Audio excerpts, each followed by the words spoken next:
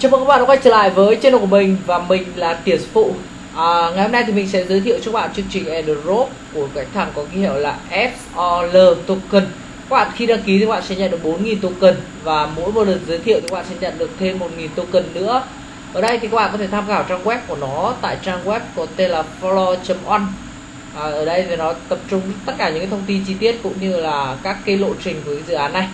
Đấy, cũng như là đội ngũ phát triển này ở đây thì mình sẽ hướng dẫn cho bạn tham gia cái chương trình aerob của nó nhé đầu tiên các bạn nhập email tiếp theo các bạn nhập username telegram. Tiếp theo nữa chúng ta nhập uh, twitter username. Twitter username các bạn uh, sẽ nhập bao gồm a còng phía trước. Đây. A còng phía trước.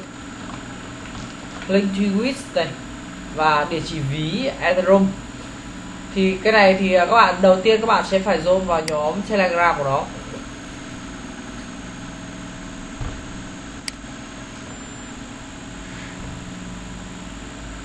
Đấy các bạn zoom vào nhá. Sau đấy các bạn ở trong đấy luôn. À, tiếp theo là các bạn sẽ follow cái trang Twitter của nó. Đấy các bạn nhấn follow này. Tiếp theo nữa là chúng ta sẽ phải uh, request retweet với comment nhé bạn. Thì có thể lấy được link, chúng ta sẽ retweet với comment với một cái à, hashtag là iso chẳng hạn. Ok. Ta nhấn retweet lại. Sau đây các bạn trở về cái profile của chúng ta để copy cái đường link. Đã retweet đây, chính là cái đường link mà chúng ta đã retweet chúng ta copy lại. Sau đây các bạn paste vào.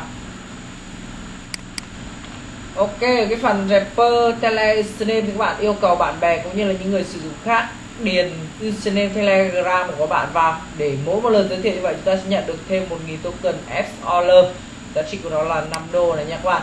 Ok, sau khi mà thành công rồi thì chúng ta nhấn vào phần à, nhấn vào phần gửi này.